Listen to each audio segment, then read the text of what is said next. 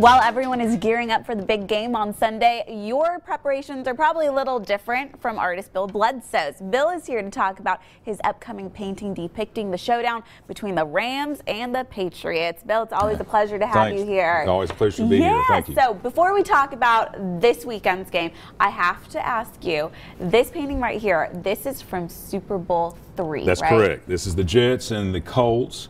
This was when the AFL and the NFL were two separate leagues Mm-hmm. still. And this uh, this particular contest, the Jets were the greatest un- underdog in the history of the Super Bowl, the Uh-huh. 20 point underdog. Nobody expected them to win. The Colts that year were just a juggernaut. They destroyed everybody. Wow. And uh, they never even watched the Jets play. They never even looked at any of their film when Mm-hmm. they went into the championship game. And the Jets beat them. Of course, Namath made the famous quote. I think we. He said, "I think we can win." Yeah. And what everybody doesn't realize is he explained why he thought they could win, and everything he said is what happened. is in what the game. happened. Yeah. Caused them to walk away with the win, and we clearly know that you are a Jets Oh, fan wearing your absolutely. wearing your New York jacket right that's it. there. I That's love it. it, love it. uh, but this is what's so unique is that every year on the Super Bowl night, you basically create this painting overnight, and then you come and join us Monday That's morning do, yeah. with very little sleep. So we appreciate you coming in. But walk me through the process of you doing this. Well, of course, we watch the game, and then uh, we'll, I'll, I'll decide what I think is the the uh, driving moment. Now, this is a uh, Time lapse, uh, time yeah. lapse of one that I did a couple of years ago, and this was all done within. A, this is covering about I think six hours. Wow. Of uh, of painting.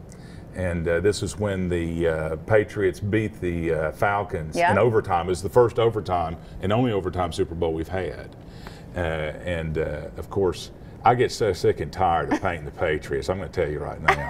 And as a Jets fan, this goes beyond just a rivalry. I'm so tired of it. But anyway, having said that, it actually turned out to be a pretty decent painting. Well, and I think it's so wonderful. And this is one thing that you and I were actually talking about because you teach over at Tusculum, Mm-hmm. and we saw you draw that first, and then and now you're putting the painting on. It's a process, and That's this is something that you teach at the art department Right. as well. I, we teach the kids whether they're a fi- they're going to do studio art or digital media, they have to be able to draw and paint and sculpt on a competent, if not accomplished level, Mm-hmm. before we ever let them go to the computer or do the filming. And so all my students are involved in these, this type of process in some form or another.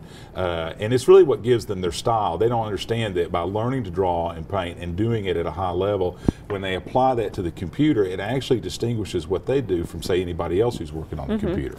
and, and that's one thing that you're saying that sets them apart from anyone else Absolutely. When you- leaving to look for a job. That's exactly right. When you're when you're applying for a job in the art field, the most important thing you can do is distinguish yourself in a credible way mm-hmm. from everybody else's work. And doing stuff like this helps make that happen. Right. And so describe to me when, you know, students first come in, they're thinking, okay, we're going right to the computer, Oh, you know, yeah, yeah. I want to be a digital artist, a graphic designer, something like that. And you say, no, no, no, we got to go back to basics. Right. The the majority of students who get degrees in art now, they've never really drawn or painted in their lives. Mm-hmm. They've worked on the computer, they're real proficient at mm-hmm. it. Much more proficient than I ever would be. But they, they can't draw and they can't paint, and so we see that pop. Even the ones who come in with portfolios, mm-hmm. they can't be able to reproduce what they did in their portfolio in the studio. Mm-hmm. So we have to go back and revisit all of that. And at Tusculum, you know, we have small classes, so it's a one-on-one Yeah. type of thing. And so we really, I mean, we just will not let them go any further until they can get this done. So we do projects like this Mm-hmm. to draw a correlation between what they think they want to do mm-hmm. And what they have to do. Right. which is become artists Oh, first and foremost. It's so wonderful. And so, b- uh, before we go, you were actually giving me a lot of information, insider information to Sunday's game Yeah. uh, on who we think will win. I said I'm kind of rooting for the underdog, the Rams. I would root for the refs over Patriots, but Just wishing them good luck, right? Yeah, that's right. That's right. Well, one of the interesting things is the, the Rams were the first NFL team to have a logo on their Mm-hmm. helmet.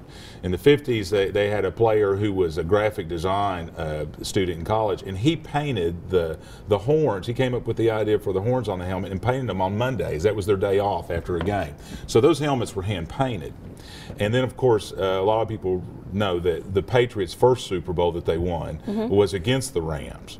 And so they, uh, so this is sort of a, a franchise, Yes. uh, a get back possibly. But my prediction is Uh-huh. is that if the Rams will wear their white and blue helmets Uh-huh. as opposed to the white and yellow helmets, I think they'll have a better chance of winning. Ooh, well. Because they did so well when they moved to Los Angeles last year. I mean, when they wore those uniforms, the white the white horns. Right. Oh my gosh, they just ran over everybody. I guess we'll see, So- and we'll see you Monday morning with the Oh, yeah. with the unveiling of the portrait that you make Yeah. on Sunday night. Bill, it's so nice to always have It's you here. always great Thank you be so much. I guess we'll see who's right come Monday morning, right? That's right. Let's send things over back to the kitchen. Elizabeth, we were talking about you know the big game. You can't have big game without big meat, and you have some great ideas over there.